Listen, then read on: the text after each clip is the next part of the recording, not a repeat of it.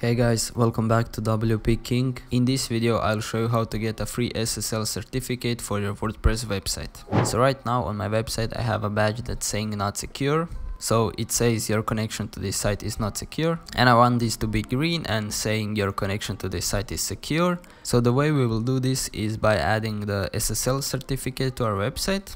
So let's not waste any more time and let's get right into the video. Firstly, you want to go to the Cloudflare. I'll have a link to Cloudflare in the description. So firstly, you want to go to the top right corner and click on sign up.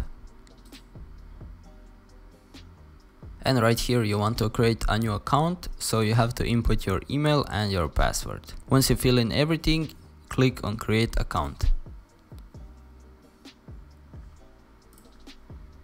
You should be taken to this page. Let's go to top right and click on add site.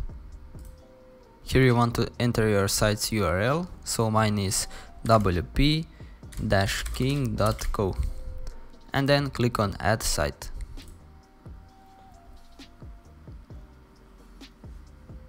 Here you can select a plan and right here at the bottom there is a free plan which I think is more than enough we need. So let's click on free and then you want to scroll down and click on continue.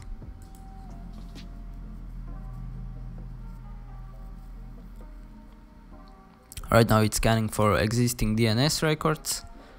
This might take a couple of seconds. And as you can see here are some details about our website. So let's just click on continue.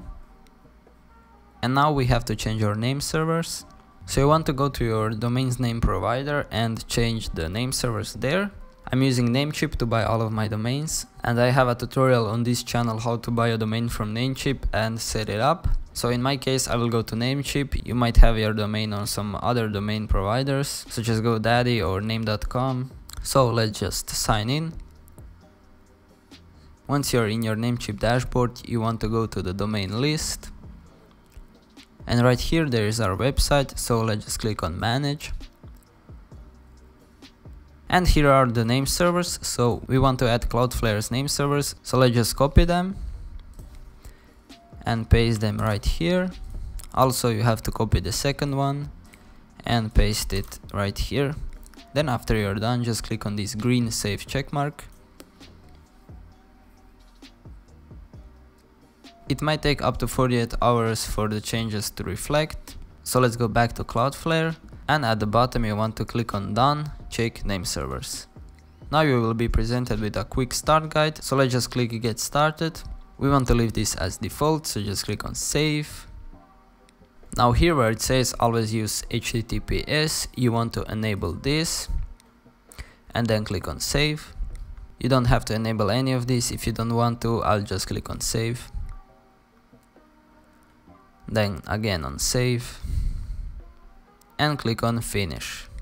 So as it says right here, registers can take up to 24 hours to process name server updates, but it's usually updated within 10 to 20 minutes.